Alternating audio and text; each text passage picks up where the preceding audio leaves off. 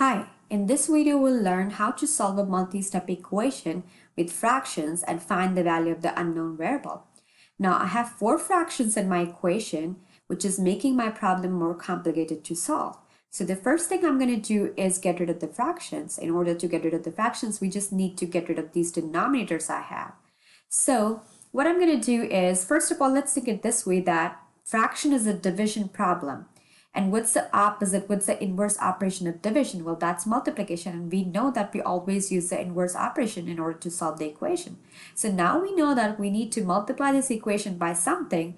But what number do I choose? 4, 3, 6, or 2? Now, the answer is we just need to think of the smallest number that 4, 3, 6, and 2 can divide into. We need to find the least common multiple of 4, 3, 6, 2. So the least common multiple of 4, 3, 6, and 2 is 12. So that means we're going to multiply this equation by 12. So let's do that. I'm going to put the parentheses around my equation and then multiply this equation by 12. Right? That means I have to multiply all my terms inside the parentheses by 12. So let's do that. I'm going to put 12 times 9 fourth x minus 12 times 1 third is equal to 12 times 5 sixths x plus 12 times 5 halves. Now let's simplify this.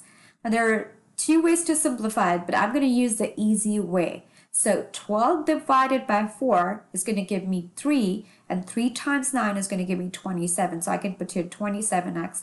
Now the other way is you can multiply 12 and 9 and whatever answer you get, you can divide that by 4 and you still you're going to get 27. Now let's see. 12 divided by 3 is going to give me 4 and 4 times 1 is going to give me 4. Right? This is equal to 12 divided by 6 is going to give me 2 and 2 times 5 will give me 10. So I'll write 10x here. And then 12 divided by 2 is going to give me 6. And 6 times 5 is 30. So plus 30. And you can do it this way. 12 times 5 is going to give you 60. And 60 divided by 2 will still give you 30. So both the ways are okay. Now I have variable term on both sides of my equation. And I'm going to eliminate the variable term which is smaller. We know that 10x is smaller than 27x. So I'm going to eliminate 10x. Now you can eliminate 27x if you want. But if I eliminate 27x, I'm going to end up with a negative coefficient with the x, and I want to avoid doing that. So I'm going to eliminate the smaller variable. So subtracting 10x on both sides of the equation. Now this is 27x minus 10x is going to give me 17x. And then I'm going to bring down minus 4 is equal to 10x minus 10x is going to be 0. And 0 plus 30 is going to give me 30. And then we're just going to use the inverse operation to solve this equation. So this is 17x minus 4. Always remember that we uh, undo the addition and subtraction first, and then we undo the multiplication and division. So we're going to undo the subtracting 4. What's the inverse operation of subtracting 4? Well, that's adding 4. So we're going to add 4 on both sides of the equation because we need to balance this equation.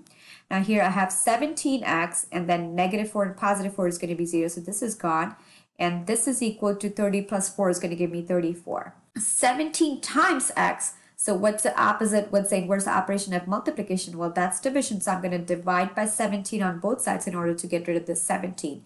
Now this 17 and 17 is going to cancel out each other. I got x on the left hand side. On the right hand side, 34 divided by 17 is going to give me 2. So the value of x is equal to 2.